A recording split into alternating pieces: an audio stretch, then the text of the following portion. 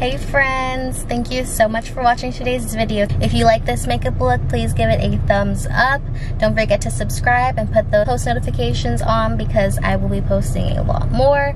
Sorry that I've been gone for a while. I've just had a lot to do, but I'm really going to try and stay more consistent. If you guys like these makeup videos, then please let me know and I'll do more.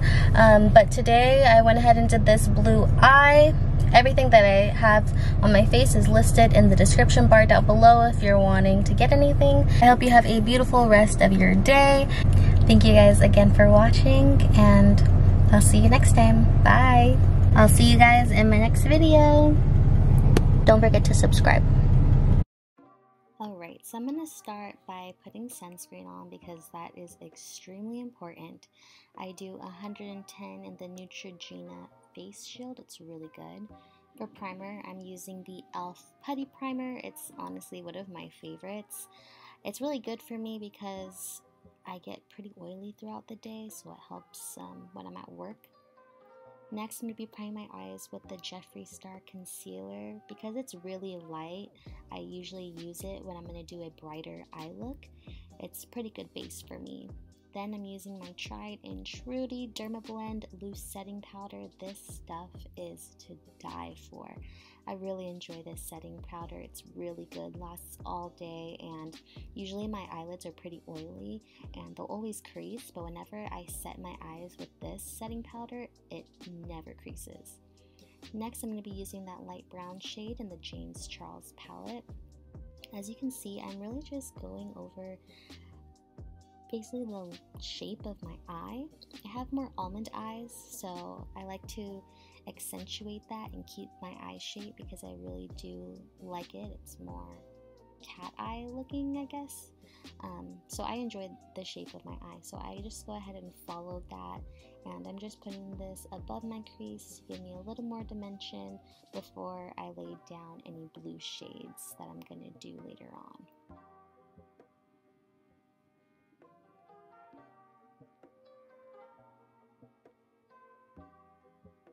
Next, I'm going to be grabbing this darker blue.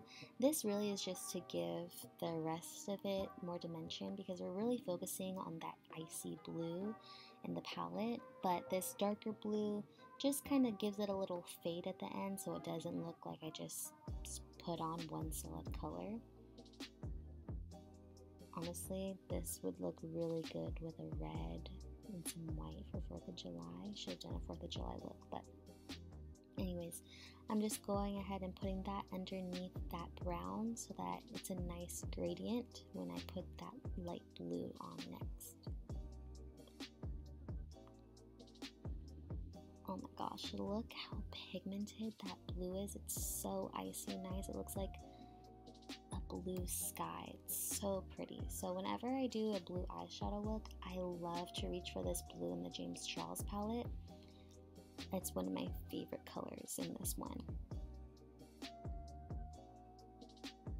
I think this blue looks really good on any type of skin color as well. Honestly, if you've never tried out blue eyeshadow, go for it because it is so cute, especially in the summer. I love it. I love blue.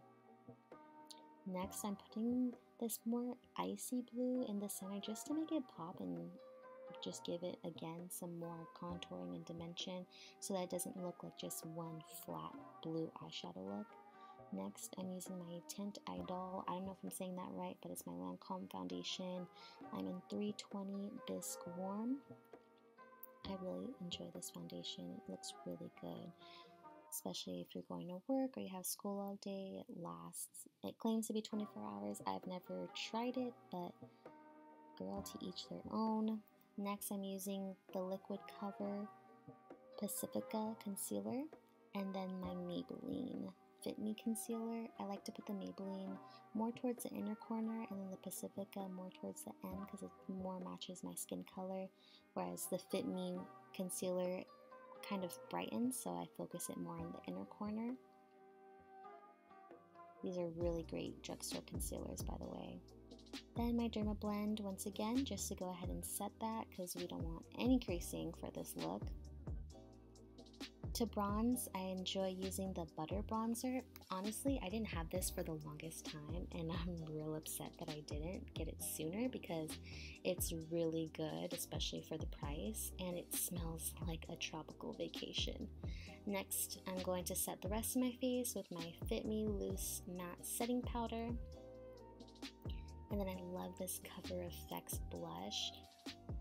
This was quite an investment for me. I really thought about it for a long time if I should get it or not, but let me tell you, this blush really lasts all day, and I think it looks so good. It makes me look sun-kissed.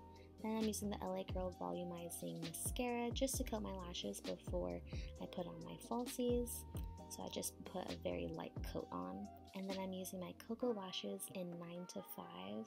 Those lashes are actually really nice. Then my LA Girl lip liner in Sugar and Spice just to line my lips. I don't typically wear false eyelashes. I just thought that this look would look good with it. Now I'm using my KKW lipstick in 2.5 nude. And you already know I had to hit it with the gloss. Glossy lips are the best. I love it. I'm using my Kylie lip gloss for that. And there you have it. That's the whole look. I hope you guys enjoy. I hope it was easy to follow. And if you guys have any requests, you want any specific looks, specific colors, I'm down to do it. Until next time, I'll see you guys.